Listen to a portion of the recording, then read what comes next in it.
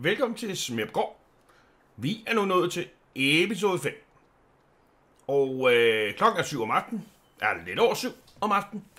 Vi er på vej op med lidt, øh, lidt dejligt vand til vores øh, får og vores geder.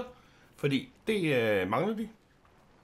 Og øh, det måtte jeg jo lige ned hente i min dejlige øh, lille vogn her. Med øh, en øh, vandtankbeholder på. Eller man kan jo transportere mange ting i den her. Men nu skal vi ind med det her, og øh, ellers har vi jo fået kørt en masse dejlige halm derover til noget kompost. Nu må jeg lige stoppe her engang. Og så skal vi lige over have åbnet for lågen her, sådan der. Og så skal vi lige have faldet den der igen. Så kører vi lige her og få... Eller køre og køre. Må nok hellere sige, at man skubber den ind jo. Så det gør vi lige. Således der. Og øh, så får vi lige tømt det vand af. Og øh, nu er der ikke nogen, der lige stikker af, mens øh, jeg lige står her og får tømt noget vand. Det vil jeg ikke håbe. Men øh, ellers så er der, vi skal lige have lidt, øh, hvad hedder det, lidt øh, gedemælk med tilbage over til mejeriet over, hvor vi kan få brygget noget, eller få lavet noget ost nemlig. Så det bliver vi lige nødt til. Og den her, den står jo og fylder op. Det er dejligt. De skal have noget Vand, det er vigtigt, at dyrene de har vand nemlig. Og øh, den må snart være færdig, tænker jeg. Det håber jeg i hvert fald. Så der tager sin tid, inden den løber. Bare lige holde øje med, om der ikke er nogen, der løber ud her. Nu tror jeg, den er færdig, og øh, så er det på tid, at jeg kommer ud og får øh, sat lidt, øh, hvad hedder det, øh, lidt gedemælk over, øh, lidt gedemælk over i den her. Og øh, jeg kan se, der er lidt vand i. Jamen, det må, nu skal du blive inde. Nu skal du ikke... Øh, vi må heller lige øh, stoppe her engang, og så lige øh, få lukket lågen sådan der. Således. Og øh, vi får lige tømt vandet af her, og så skal jeg lige have fyldt noget øh, gedemælk over øh, i den her. Der er lige en lille øh, smule vand i, men det får jeg lige styr på. Så fik vi øh, gedemælk i her, og øh, vi går lige lidt baglæns her. Således, og så er det bare fremad. Vi lukker lige for låg en gang. Og så kan vi jo lige køre over og få tappet alt det her dejlige gedemælk af her. Så vi kan få lavet lidt øh, gedeost ud af det. Og fremme, der har vi en mark over. Det er vores. Og øh, den skal vi have sprøjtet for ukrudt kasse fordi der er kommet godt med ukrudt på. Marken inde ved siden af hende, den øh, har vi ikke sået nu, så det betyder ikke så meget, at der står ukrudt. Det øh, forsvinder simpelthen, når vi skal have sået herinde nemlig. Og ellers så har vi jo vores mark, og det kunne være, at jeg lige skulle gå over i den rigtige side af vejen her. Når man går, skal man jo gå i mod bilerne nemlig. Men ellers har vi en mark deroppe bagved, hvor vi har lidt øh, halen på, og øh, jeg går stærkt ud fra, at i morgen, der er det tørt, sådan så jeg kan få presset mig en masse dejlige baller. Og øh, ja, det skal jo gøres, fordi jeg mangler simpelthen handen til min dyr. Så det skal bare holde tørvejr. Det håber jeg altså virkelig, det gør. Vi øh, drejer ned her, og øh, så er det om at komme op til vores lille bitte mejeri, vi har heroppe bagved. Men ellers har dyrene det godt, og øh, vi har lige en øh, opsamling den, som vi også lige skal have skylle en tur. Den er lidt beskidt, kan man også sige. Øh, men det er der jo ikke øh, noget at gøre ved. Tingene det bliver beskidte, når det er. Og ellers så skal vi, ja, vi skal også have kørt noget gylde ud på nogle marker, og nej, der er mange ting. Det er der altså. Men jeg tænker, at øh, når jeg jeg ved at være færdig, nu skal jeg lige se en gang, hvad vi skal, der er nemmest her. Nu kan jeg lige starte med at åbne døren højre. Sådan der. Og lige at se herinde, der bliver bare produceret. Der er kommet en masse dejlige ost heroppe på, og det er over fra hvad hedder det, fra komælken, der er blevet lavet ost, og så ligger der også her fra, se, der er stadigvæk en masse i der, nemlig. men for de der geder der, som dem skal vi lige have lagt på på hylden også. Men jeg vil lige få, hvad hedder det, tømt min øh, gedemælk op i beholderen her, og øh, så vender jeg tilbage. Således. Vi fik øh, tømt vores gedemælk over i her, så det var dejligt. Nu tænker jeg, at jeg lige vil tage den her, den vil køre i et stykke tid nu. Og øh, vi må hellere få lagt noget af det her gedeost over på, på hylden herover. Det, øh, det vil være en god idé, tror jeg. Så det får vi lige gjort her engang. Sådan der. Fordi så er der nemlig plads til, at øh, den kan få øh, lavet noget mere gedeost. For ellers så stopper den bare, når der ikke er mere plads på bordet. Og det duer jo ikke. Så dejlig gedeost her. Så må vi se, om vi kan få en, øh, en god pris for det her. Det, øh, det tror jeg godt, vi kan. Jeg ved, der er en masse øh, private, der køber øh, alle mulige forskellige ting, som man øh, kan lave nu. Så det er dejligt. Vi har da i hvert fald lige fået lagt øh, fem af dem her ind, sådan der. Og øh, vi kan godt tage den her over med, for den er også færdig, ved jeg. Sådan der, og den kan komme herover lidt. Bum. Den her, der er rimelig meget i nu, så den kan vi egentlig bare køre. Den her, den mangler lidt mælk. Og øh, vi har ikke mere mælk herovre. Men øh, det har vi øh, simpelthen over i kostallen, ved jeg. Fordi køerne er blevet malket nemme. Så jeg tænker, at vi måske lige kan smutte over. Og så øh, få taget lidt øh, mælk. Og lige få fyldt over i den her. Og jeg kan se nede i hjørnet, der er kommet et par kalve mere. Så det er dejligt. Og øh, vi har kalve i alle vores båse herovre. Eller ikke i dem alle sammen, men her har vi 1, 2, 3, 4, 5, 6 tyrekalve. Og herover har vi to, som hvor der er fire båse stadigvæk. Men øh, problemet, jeg kan jo godt øh, sætte de to der ind, men jeg har bare ikke noget halm. Og det er det, der er møg irriterende. Men nu vil jeg lige få fyldt den her op med lidt mælk, og så kører vi over med det, og så kan vi få kastet lidt mere mælk i, i øh, maskinen derovre. Således der.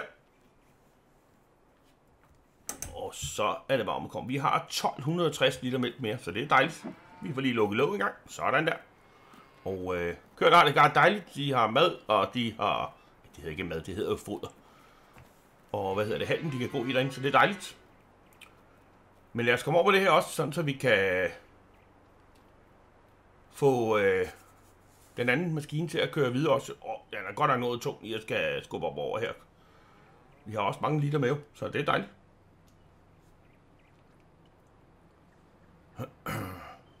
Og herinde, der kan vi jo... Ja, det er jo det inde, vi kan lave... Øh, der kan vi lave smør, og vi kan lave mayonnaise, så det er dejligt. Sådan, op over kanten, og så ind, og så får vi lige tømt den her af også. Så fik vi lige tømt den af også.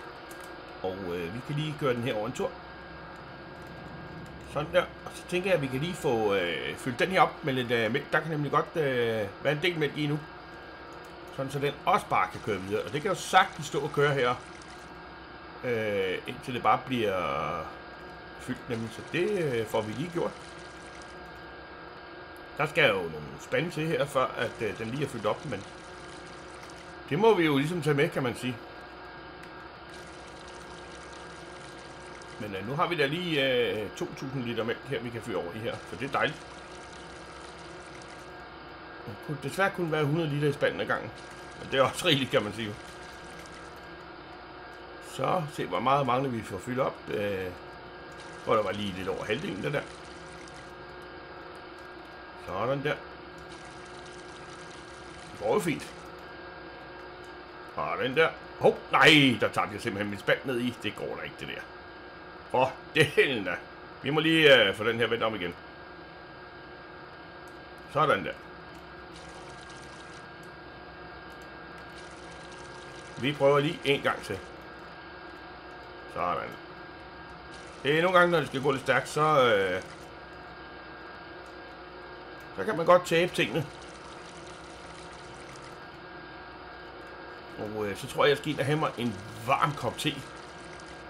Fordi jeg synes, jeg har lidt ro i halsen nu. Men det... Sådan er det, når man går udenfor det meste af dagen, så kan man godt, og hvis man lige måske får lidt træk eller et eller andet, så kan det godt lige sætte sig lidt i halsen. Nu øh, jeg tror jeg, den er fyldt, ja. Og så tænker jeg, at vi lige skulle have en gang en symer i, og så skal jeg lige se, hvad har den herovre. Den kan lige få lidt mælk også, og det er så gedemælk, den skal have. Det skal vi huske. Og så skal vi lige have fat i den anden spand, sådan der. Og øh, så kan jeg give de to lidt enzym også, en enzympulver, som vi skal bruge til at komme op i. Nu skal se, hvor meget mere. Den kan godt lige have lidt mere. Ikke meget, men øh, nu prøver vi. Sådan der. Så er den fyldt. Og øh, vi sætter den der der. Åh, oh, for delen, jeg skal lige have lukket for hende der. Vi fylder den bare op, sådan der. Så øh, skal jeg lige give lidt øh, enzympulver, og så vender jeg tilbage. Så er de fyldt op, den op på hylden igen, sådan der. Og øh, det hele kører, det er skønt. Vi tager vognen, og øh, så kører vi simpelthen ud af. Og den her, den skal egentlig over til, til foran igen jo. Men nu kan vi lige få lukket lågen her. Sådan. Og øh, så går vi over med den her. Det øh, bliver vi ligesom lidt nødt til. For det er ligesom der, vi skal bruge den. Men jeg tænker måske, at vi skulle fylde lidt vand i den og tage med over, eller hvordan skal vi gøre det bedst? Ja, det ved jeg ikke helt endnu. Ah, ved du hvad, jeg tror, vi kører ind her, og øh, så sætter vi den herinde, så kan jeg køre den over i morgen nemlig. Men alle mine dyr, de har foder, og de har vand, og de har det godt, så det er mega dejligt. Jeg sætter den her her, og øh, så kan den godt stå der. Traktoren, den gider vi ikke vaske nu, den kan vi vaske i morgen. Klokken er lidt i halv otte, og det er 14. Jeg skal ind og have lavet mig en kop te, så jeg kan få drukket lidt varmt te. Det vil jeg gerne have nemlig. Og der er grise, de har det også skønt. Det er jo bare perfekt nemlig. Men der er jo ikke andet at sige. Jeg vender tilbage i morgen tidlig. Hej så længe. Så er det blevet morgen igen. Og øh, klokken er, hvad hedder det, næsten halv otte. Jeg har været oppe i nogle timer, jeg har fået malk i min øh, køer, så det er dejligt. De gav lidt, øh, lidt god mælk. Jeg har lige øh, fået mig lidt kaffe. Det var tiltrængt. Øh, nu skal jeg simpelthen have i gang i at komme op og få øh, presset nogle øh, baller. Og øh, til det formål, så skal vi bruge en traktor. Vi skal have en balpresser, og vi skal have en vogn, som de kan komme op og lidt på. Og herinde, der har vi balpresser nede i hjørnet. Øh, men til at starte så skal vi selvfølgelig lige over have fat i en traktor. Og vi skal have den grønne her, tror jeg. Den kravler vi op i.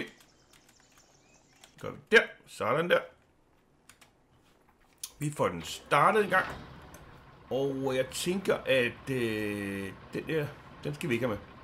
Men den sidder heller ikke på, så det er dejligt. Vi skal lige over, og øh, jeg ved faktisk ikke, det kunne egentlig godt være, at vi lige skulle holde den der væk på, det tror jeg faktisk, vi gør. Jeg tror bare, vi øh, får kørt ind efter den der ballepresser her. Og øh, så skal vi lige over. Jeg kan ikke huske, hvor meget snor der er i nemlig. Så vi må heller lige få fyldt lidt øh, snor i, inden vi skal op og begynde at presse. Oh, der var jeg ved at køre i den der. Men det duer ikke. Jeg tænker, at vi lige kan bakke om her. Vi kan nok lige ramme om. Sådan der. Så hopper jeg lige ud, og øh, så får jeg lige øh, monteret den her på en gang. Således. P2 og ledninger og det hele, som det skal være. Ind i traktoren igen, og øh, så er det bare fremad. Og øh, jeg kan se, at vi skal have lidt snor i, i hvert fald. Det bliver vi nødt til. Nu skal vi lige se, om den kommer med ud her. Jo, det gør den, Tommy. Ja, skal den komme ind, så kan den vel også komme ud. Men jeg tænker, vi lige får... Jeg ved, jeg har noget snor herinde på værkstedet. Og så må vi heller lige få kastet noget snor på. Vi får lige bakket til herover.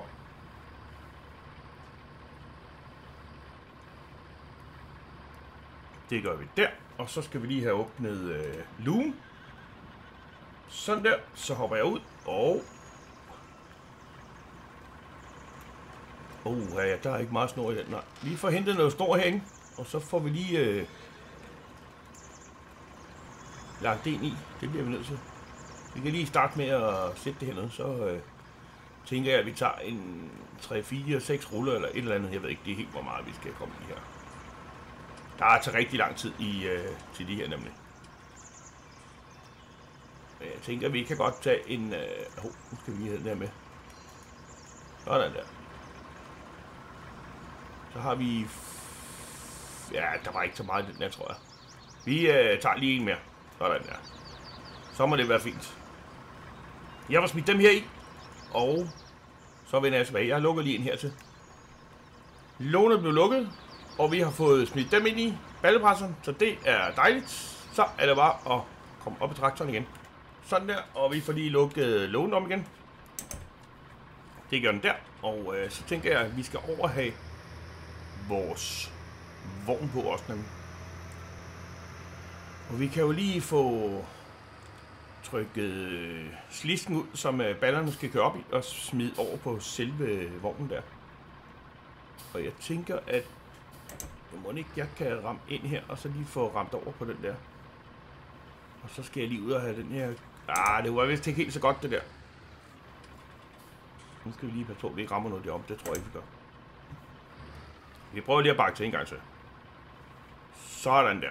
Og så er det om at komme om og få øh, spændt på. Så er der spændt. Og det hele, det, skulle, det tror jeg. Nu skal vi bare over lige og til marken. Og øh, vi har det hele med her. Yes. Og vi kommer ud. Ja, det gør vi også. Det er perfekt jo. Og så skal jeg lige op herover. Vi skal over vejen her. Sådan der. Der kommer ikke nogen. I vores dejlige øh, gamle Deutsch her. Men øh, jeg tænker, at øh, vi skal jo lidt derned af, fordi jeg tog jo alt det her op først og kørte til kompost nemlig. Og jeg tænker, vi kan... Hvor skal vi tage den hen? Vi kan jo egentlig bare tage den et eller andet sted her. Og øh, vi starter simpelthen bare herinde. Det betyder ikke en meter om, hvor vi starter hen. Men hvis jeg lige stopper her, sådan der, så øh, får jeg lige startet det hele op, og så er det bare afsted. Så skulle det gerne køre alt sammen her. Det er jo perfekt. Vi øh, kravler op i vores øh, traktor herom. Og øh, så er det egentlig bare at få sænket, øh, så vi kan få samlet lidt øh, baller op på pres. Vi øh, brønder den ud af, og så ser vi, at øh, hvordan der hvorledes det går det her med at få presset lidt baller. Men øh, jeg tror, det går meget godt. Det ser sådan ud i hvert fald. Og vi skal lige holde øje med, hvor vi kører hen. Vi kunne måske sætte øh, et øh, pluskontrol på. Det kan den her gamle. Ja, ja, ja, ja. Det kører perfekt, det her. Og der kan ligge masser af dejlige baller på den om.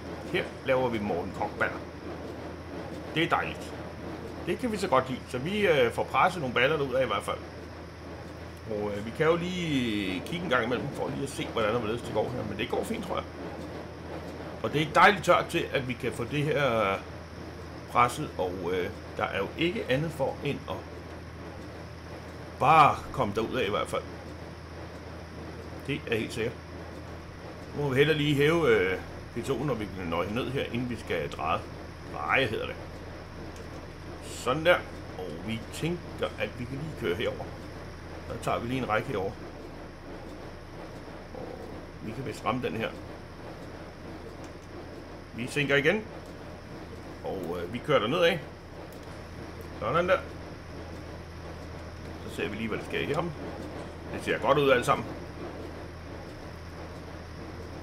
Det gør det. Jeg ved ikke, øh, det kunne godt ligne, at det trækker op til det lidt regnvejr, eller nej, det er måske bare fordi, det, øh, det er nok mere på grund af morgenstunden, det ser sådan ud derude, tror jeg. Derude ser det jo fint ud, jo. Derude er det, ja, det er lidt mørkt derude, men jeg ved ikke om, det er nok bare fordi, det er tidlig morgen. Det kunne jeg forestille mig i hvert fald. Det, er, det er helt sikkert. Men øh, i stedet for at høre på min stemme, så smider vi musik på, og øh, så vinder vi stærkt tilbage, når jeg er ved at være færdig med at presse nogle baller. Hej så længe.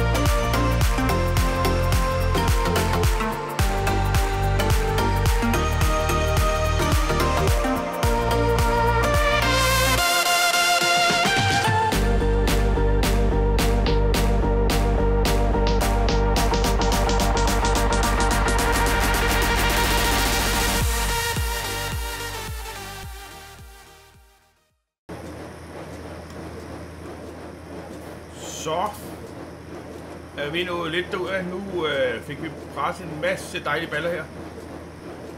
Og øh, jeg får lige stoppet den der presser i gang. Og øh, det gør vi der. Sådan der. Så kan jeg lige øh, hoppe ud i gang. Og øh, så kan vi se, at vi er delt med for at lave en masse dejlige baller her. Det er helt sikkert, det er skønt. Og øh, jeg tænker, at jeg lige vil få koblet, øh, hvad hedder det, ballpresserne af og vognen af. Og så vil jeg egentlig køre over med nogle baller til, hvad hedder det, til, til mit dyr, fordi det, øh, det mangler, og jeg mangler specielt inde hos min øh, får og min geder, og så lidt øh, op hos øh, køerne i hvert fald. Så det får jeg lige gjort. Så fik vi, øh, hvad hedder det, sat øh, ballepresserne af, og vi fik øh, sat en øh, morgen på her, bag på traktoren, og så er det bare om at komme op i den, og så må vi afsted med de her baller her. Og nu håber vi dem ikke, vi vælter her. Fordi det ville være virkelig, virkelig skidt, så vi kører mega meget forsigtigt her. Det bliver vi simpelthen nødt til. Ja, der kan godt få lidt gas lige her i hvert fald. Det tænker jeg. Bare ikke vi lige får rammet alt ind for alt for meget de der træer der. Men øh, det, vi håber på, at det går i hvert fald. Men jeg tænker, at vi skal lige have kørt lidt, øh, lidt halmballer over til, hvad hedder det, mine øh, dejlige øh, får og gæder herovre. For de mangler nemlig, de er simpelthen løbet tør. Så det bliver vi lige nødt til at gøre. Og øh, vi skal til venstre på vejen. Der kommer ikke nogen der. Og der kommer heller ikke nogen. Så øh, drejer vi, og øh, vi ser lige, om ikke øh, den her trailer den følger med. Uden at vælte. Helst. Og det gør den simpelthen. Det er mega godt. Hold nu fast, mand. Og vi giver den lidt gas her på vejen. Der skulle den gerne stå lidt øh, bedre fast i hvert fald. Vi skal op her, og øh, så må vi heller lige se om den kommer med. Åh, det ser sådan ud. Sådan der. Og jeg tænker, at... Øh, jeg ved ikke, om jeg skal køre det. Nu er de garanteret for højt op, så jeg kan ikke komme ind. Øh, det finder vi lige ud af, hvad vi gør. Jeg tror, vi kører den her vej, så kan vi køre ind om fra den anden side af nemlig. Det bliver vi næsten nødt til her. Og jeg ved, man øh, vejen drejer lige op, så jeg kan komme rundt herop nemlig. Men jeg kan nok ikke komme ind gennem porten, fordi at øh, den er ikke så høj, den port. Nemlig. Hvis vi nu lige kan få drejet ned af her, uden at de her de vælter af, så vil det være skønt. Ja, det tror jeg godt, vi kan faktisk. Så vil jeg egentlig lige køre herned, og øh, jeg stopper lige her, og så kan jeg lige løbe over for at åbne den her port her. Øh, jeg tror altså ikke, jeg kan komme ind her. Fordi jeg kunne godt tænke mig at få lagt nogle baller derovre nemlig. Og hey, de er også næsten med at løbe tør for foder her. Jeg kan lige give dem de her baller, jeg har her i hvert fald. Af hø. Sådan der. Har lige to mere. Og så er det altså også på tide, vi skal op og have slået noget græs. Og øh, det kommer vi nok til at gøre, før vi får presset flere baller nemlig. Men planen er, at jeg skal lige ind med nogle baller her, og det vil jeg lige få gjort. Og så er jeg tilbage lige om et øjeblik. Så har jeg lige fået sat mig på hook her, og så kan jeg lige få kastet lidt baller ud til forerne og gederne, så de har lidt igen. Det bliver dejligt, og øh, der er rimelig langt ned heroppe kan jeg godt fortælle jer. Og det gynger også lidt, når man nu står på de her, hvad hedder det, baller heroppe. Og, øh, men øh, vi håber, at øh, vi lige kan vi lige kan klare den heroppe fra. Og så er det egentlig bare, at når jeg ligesom lige, jeg tror lige, jeg tager de der lag også der, så, øh, så nu røg den der ned. Nå, de har i hvert fald fået noget halm, og øh, så er det meningen, at jeg lige vil få kastet en masse halm herned. Og når jeg har fået gjort det, så er jeg tilbage. Vi fik øh, tømt lidt øh, halmballer af her, og øh, godt være, at de ikke ligger så pænt, men øh, det går nok. De skal jo bare bruges til, til dyrene herinde, så... Men øh, de fik også lidt, øh, lidt dejlig halm, så det var skønt, og foder har de lidt af også. Nu tænker jeg, at øh, jeg faktisk vil kravle ind i min øh, traktor her. Sådan der. Og øh, så får vi lige startet den gang. Og så er det bare om at sætte øh, afsted derudad. Jeg tænker, at vi lige skal over her læse de sidste øh, baller af her over, eller op i øh, kostallen op nemlig. Det tænker jeg, det kan vi godt gøre nemlig. Vi skal lige ud her, og der kommer ikke nogen, og det gør der heller ikke derovre, så det er jo dejligt. Vi drøner over, at nu skulle der være lidt mindre chance for, at vi øh, vælter med den her. Så nu kan den godt få lidt mere gas. Vi skal til venstre, op til vores dejlige kør, og vores øh, kalve, ikke at forglemme. Sådan der. Og øh, så tænk, oj, ja, der skulle jeg lige se. Nå jo, der må gå nok. Masser af plads. Øh. Så er det bare om at komme hen, og så skal vi have læst lidt øh, halm af herinde hos øh, køerne nemlig. Og øh, jeg tænker, enten skal vi lægge det der over hjørnet, eller... Nej, ved du hvad? Jeg tror også, vi kan lægge noget ind imellem her, tror jeg. Det er en, der kan også godt lægge en masse dejlighed. Så det tror jeg lige, at øh, vi får gjort. Vi stopper lige den her. Og så stiger jeg ud. Sådan der. Så, og så tænker jeg, at øh, måske lige kan komme op på de der. Sådan der, ja. Og så får vi lige øh, smidt lidt øh, halmballer herover også. Hvis jeg ellers kan få ram på dem. Det kan jeg nok godt. Sådan der. Og øh, uopski. Så jeg tænker på, kan vi stå et andet sted her måske, hvis vi står herover sådan der. Og så får vi bare kastet øh, masser af de her baller derovre af. Der er ikke andet for at øh, bare få dem afsted. Og øh, der kan jo være nogle stykker, forhåbentlig. Øh, fordi vi skal jo bruge en masse baller herinde øh, til vores kalve også, og vores almindelige køer nemlig, så... Så det er jo fint, vi får lagt noget herind også. Øh, det bliver vi jo nødt til. Men jeg tænker, at øh, vi er ved at være ved vejs ende for dette afsnit her. Og øh, så er der jo ikke andet end at sige tak for denne gang. Og Smerup Gård vender selvfølgelig tilbage om ikke ret lang tid. Hej hej!